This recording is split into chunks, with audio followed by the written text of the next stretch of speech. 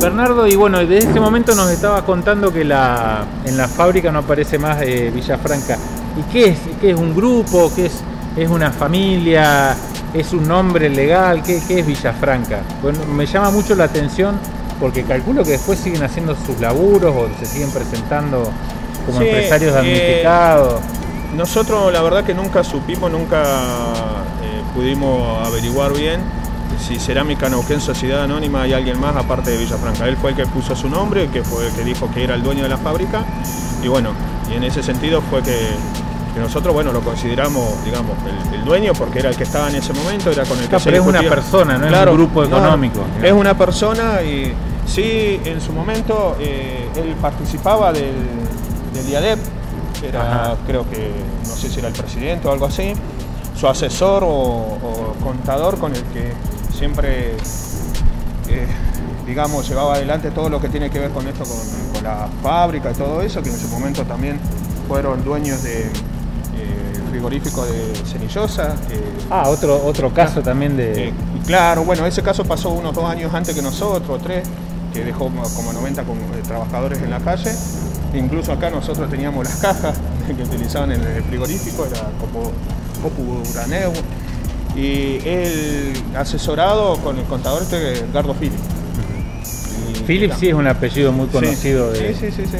La verdad que sí, que nosotros cuando nos enteramos todo eso, bueno, eh, digamos, no es que nos sorprendió, pero bueno, nos parecía lógico dentro de esto, eh, de, de ser parte de, esa, de, ese grupo ¿no? empresarial eh, y que, que, bueno, que vemos por ahí la- las maniobras que llevan adelante para con la fábrica, porque en su último periodo, más allá de, los créditos que él solicitó para poder hacer la, inversión nueva, eh, tuvo subsidio, no- no- nosotros por ahí, por ejemplo, nos pagaba con los, con los vales en su momento, esos los de COP.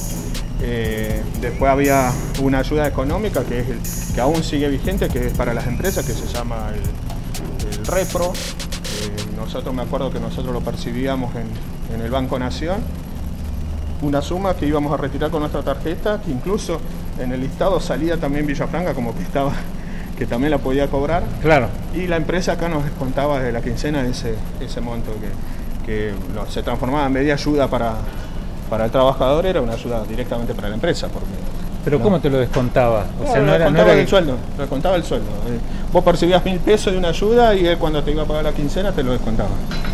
O sea que ganaba el 200% siempre. Siempre, y, y, bueno, y eso después, más el tema de, las ventas, nunca quisieron mostrar los libros contables, que nosotros era una discusión, que tenía que mo- demostrar la crisis que decía que tenía, no lo hicieron. Eh, pasaron también un par de contadores por la administración, eh, de los cuales eh, también cuando nosotros uno de los, contadores, que fue el que vino y se firmó el acta para resolver el conflicto del 2012, al tiempo renunció, in- ingresó otro, así que tenían ahí, me parece, una- unas maniobras que no eran las que iban a llevar a, a buen puerto la, la continuidad de la fábrica. Y por ahí, bueno, compañeros en ese momento, con el sindicato, que ya venían con la experiencia de Cianón, todo, la veían venir y, y bueno, y Ah, medio como que, se, esto- esto que se va. como que se iba preparando el paño a una lucha, una, a, un, a un conflicto que no iba a ser fácil. Y bueno, y fue lo que sucedió, fue un conflicto O sea no- que eh, esto no es tipo eh, la de ropa, ¿cómo se llama? La de Amici. No. eh, más que nada porque no se pudo llevar las máquinas, ¿no? Pues otro ejemplo también de vaciamiento. Una máquina ya sí se llevó las máquinas. No recuerdo el nombre de la empresa. Eh, sí, era Textil Neuquén, era mm, Huertas los apellidos de Los Huerta que se llevaron todas las máquinas a la noche eh, porque era más chica, casi podía, capaz que Villafranca se llevaba algún horno. Sí, ahí hay una cuestión, yo en ese momento eh, participé de ese conflicto, acompañé a las compañeras textiles Neuquén. Eh, la verdad que fue un, un día realmente muy triste. No, no solamente esa noche que, que vinimos a hacer la guardia, que la, la patronal se había quedado adentro y bueno, seguramente por ayuda de las, de las otras empresas con, que hacían eh, los terrenos lindantes ahí, eh, pudieron irse, igual también complicidad de la policía, porque la, policía- la policía se claro. puso a, a circular ahí durante toda la noche y bueno, después al otro día nos encontramos que venían do- dos policías a cuidar la, la fábrica cuando ya nos enteramos que no había quedado nadie adentro. Y cuando decidieron las compañeras entrar a la fábrica, violentar el portón y entrar porque era su derecho, era su fábrica, todo, nos encontramos que estaba totalmente vacía y, fue realmente eh, un, momento muy triste para las compañeras y para todos los que estábamos acompañando. Pero nosotros veíamos que el mecanismo es el mismo. O sea, a eso iba, porque acá la diferencia de Villafranca es que él deja las máquinas y desaparecen. Claro, pero la deja endeudada, o sea, son todas parte de la deuda esa que que hace concursar a la fábrica, porque las máquinas están todas prendadas por el Banco Nación. O sea, digamos, si se la llevaba era como que cargaba con, con esa deuda y con ese concurso. Que también yo nosotros por eso decimos, siempre dijimos que el concurso era fraudulento porque nunca movió ningún trámite, ningún papel. Y hoy coincidencia, en marzo del 2014, que es cuando la patronal decide irse, es cuando tenía que haber pagado la primera cuota. Y es al día de hoy que no, pagó ninguna cuota y el único movimiento que tuvo los concursos en esos seis años eran pedidos o autorización a la jueza eh, concursal de él poder salir del país porque necesitaba hacer viajes sobre negocios o cosas así. O sea que Pan eso lo sabe. Claro. Ellos manejan esa información. Sí, sí, sí. Totalmente. No, no, no es que él actuó, que nadie sabe estos mecanismos que él lleva adelante. No, no. Bueno, y acá, por ejemplo, con los dos hornos viejos, y después si querés vamos hasta allá y los vemos, están embargados por el diadem. Que varias veces durante este periodo vinieron con la amenaza o presentaron la amenaza de, llevárselo y nosotros, bueno, lo plantamos y le decimos, de la fábrica no sale nada hasta que no se haya una, solución en concreto, porque no íbamos a dejar que nos empiecen a vaciar la fábrica los, acreedores o los que están, los que tienen acreencias con la fábrica donde los que fue endeudado, ¿no? Y bueno, ahora estamos, 2020, eh, pasó la pandemia, bueno, no, no pasó, pero digamos, estamos en una etapa un poco más relajada de la pandemia, eh, salimos más pobres, salimos con más producción, se construye más en Neuquén. Ustedes que manejan todos esos números, ¿qué, están observando? Ahí hay un dejar hacer también, lo, han librado otra vez a su suerte a las fábricas recuperadas, el Estado neuquino que ha hecho. Bueno, eh, en lo que tiene que ver con la comercialización y la economía con los materiales de construcción, eh, es, llamativo la demanda que hay.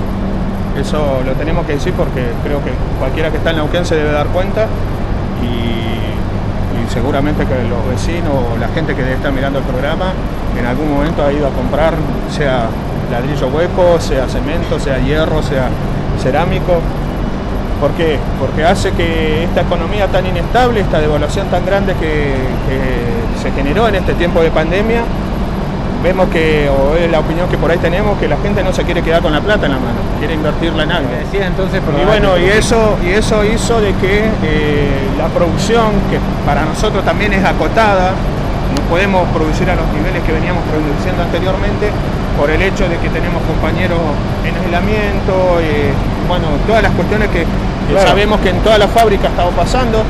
Eh, por eso hay, poca producción y mucha demanda. Eh, no nos da la posibilidad de generar stock, stock que antes teníamos, manejábamos. Nosotros cuando arrancó esto, lo de la pandemia, acatamos la pandemia porque también tenemos compañeros, en ese momento eran que los compañeros mayores de 60 años eran los más eh, propensos a ser eh, contagiados, eh, los que tenían alguna enfermedad con el tema respiratorio o algo así también, entonces lo que decidimos fue parar la fábrica, los que por ahí, los que podíamos, los que teníamos menos riesgo de, contagio, seguir viniendo para resguardarla, mantener la, las guardias, unas guardias que que de dos personas pasaron a ser cuatro o cinco todos los días a las 24 horas y midiendo a ver qué es lo que pasaba mientras duraba la pandemia, porque en ese momento la verdad que era rarísimo cuando nos tocaba hacer guardia acá tanto de turno tarde o de noche, que vos veías que no andaba nadie en la ruta, que no pasaba nadie. Era una cosa de incertidumbre que, todos nos preguntábamos qué va a pasar, porque estaban todos en, en sus casas, nosotros por ahí esquivando los controles de la policía para poder venir, porque ya había empezado a surgir de que se tenía que tener un permiso, una autorización. Nosotros hablamos por medio de, Andrés Blanco, que es el, diputado del FIT en, la legislatura, habló con Vanina Merlo, con los jefes de la policía, eh, que contemplen la posibilidad de que los ceramistas puedan circular porque nosotros no, tenemos seguridad privada, teníamos resguardado con nuestro cuerpo la fábrica, así que que nos dejen circular, que nos dejen venir, así que bueno, hicimos una nota que era la que al principio le presentábamos por a la policía, pero bueno, habían Aparte esos días tampoco podías apagar el horno. No, no, era bueno, pero llegó un momento que lo tuvimos que hacer. Lo Ah, tuvimos mira. que hacer porque no sabíamos cuánto tiempo más iba, eh, se iba a prolongar eso y pensábamos que bueno, una semana más, un mes más y bueno, fue pasando el tiempo y ya nos empezamos a, a- a preocupar porque nosotros vivimos de esto, teníamos la fábrica parada, venta parado, no, no, no, no, no generábamos dinero como para, para sostener también cada uno de los compañeros con sus quincenas. Hasta que, bueno, en un momento el gobierno, a nivel nacional, eh, como veía que eso venía pasando en todos lados, decidió reabrir lo que eran las ventas de corralones. Entonces nosotros lo tomamos por ese lado y lo que hicimos fue, bueno, abrimos ventas porque necesitamos generar el dinero para nuestros compañeros, todo más allá de que no estemos produciendo y estén en la casa, teníamos que hacerlo. Eso fue casi un mes hasta que se decidieron, digamos, en realidad no es que se decidieron, eh, propusieron de que si las empresas o las fábricas de, productos, digamos, eh, esenciales, presentasen un, un proyecto eh, acorde a la situación, se lo podría habilitar para, para producir. Entonces fue cuando nosotros, acá con las tres fábricas ceramistas, Sanón y Estefani, y junto al sindicato, armamos un protocolo, un proyecto atado a un protocolo eh, Claro. estricto para, lograr, para lograr que nos habiliten la producción. Y bueno, y fue así, fue revisado por el Ministerio de Salud y también por el Gobierno Nacional y, y fueron aprobados. Fueron las tres primeras empresas en la zona que, Que les permitieron trabajar. que nos permitieron trabajar. Entonces en ese momento, bueno, rearmamos como podíamos también los turnos para producir porque había compañeros que no los podíamos hacer venir por dificultades de, enfermedades que tenían que podían ser propensos a contagio y también la gente más, más adulta que se tenía que quedar en su casa seguir haciendo el aislamiento. Así que con los que podíamos armamos un turno, se empezó a producir un turno. El tema que eran acotados también los horarios, porque acá siempre se trabajó mínimo por turno 8 horas, las 24 horas corridas. En ese momento habían habilitado que sean 6 horas nada más por día. Así que era bastante difícil poder largar a la producción, que te demora casi una hora, y tener que parar un poco antes para poder eh, eh, limpiar, lavar todo y poder eh, después largar al otro día. Así que se acorta, no son seis horas de, producción, siempre terminan siendo cuatro horas, un poquito menos.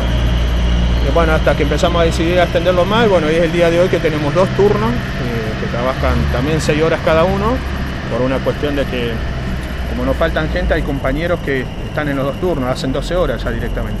Entonces por eso no podemos estirarlos a 8 horas porque si no, no nos faltarían eh, compañeros para poder sumarse. Pero todo esto es por el tema del aislamiento. Hemos tenido casos de COVID, hemos tenido algunos casos que han sido graves, otros no tanto, pero bueno, eh, no hemos lamentado tampoco la, la pérdida de ningún compañero por esta, por esta pandemia.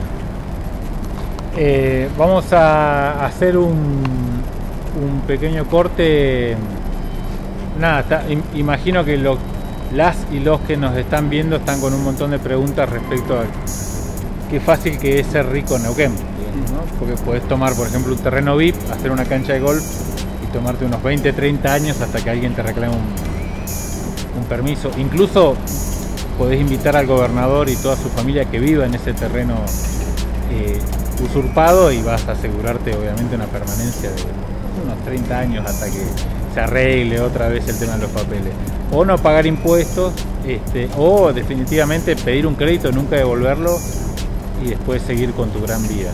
Eh, nosotros vamos a un corte y en esta parte que lo molestamos a Bernardo y a los compañeros que nos abrieron hoy la fábrica en este día feriado, eh, queríamos dialogar sobre el presente en términos judiciales y legales, este, sobre todo porque hubo un intento de entrar a la fábrica hace muy poco tiempo y queríamos estar al tanto de todo eso. Ya venimos.